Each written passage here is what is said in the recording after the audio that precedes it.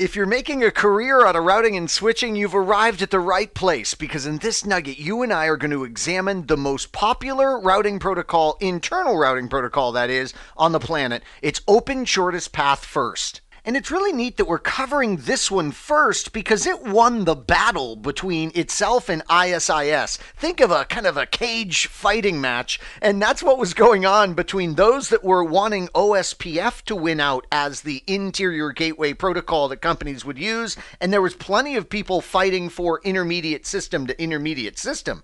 If OSPF won, you might wonder, well, why are we going to be covering a course in ISIS? And we'll be doing that next, of course.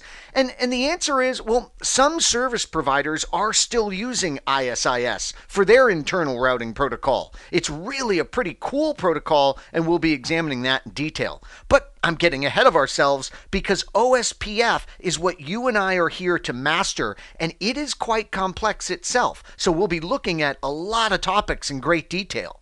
And just like other courses in this series, we'll really take a look at the conceptual information about OSPF and notice how complex it is. Notice how much there is for us to discuss there.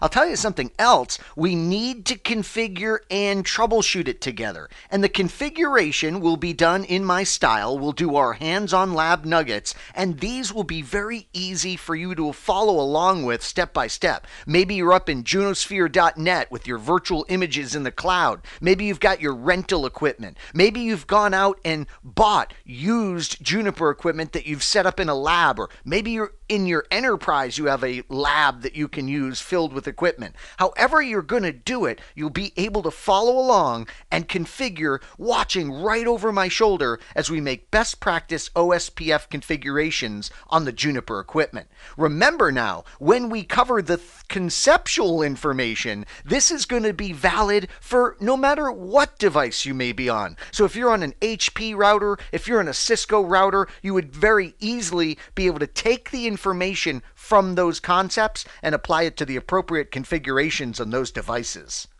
So, are we going to get in depth on the theory? Yes. Are we going to do intense hands on lab work together? Yes. And also, what I'm going to do for you is I'm going to create electronic flashcards that go along with this course. These will be located in the Nugget Lab files when the course is complete. In fact, in the very next nugget of this course, I'm going to teach you how you get the software to run the electronic flashcards, how you put the electronic flashcards into that software, how you can set up the options for you to view those electronic flashcards, so be sure to check out that very next nugget. I'll also run through and give you some pop quizzes and some review materials as we work together. It's like we're learning a new language when we study OSPF, so we need things like quizzes and flashcards to really help us with the new language that we're learning.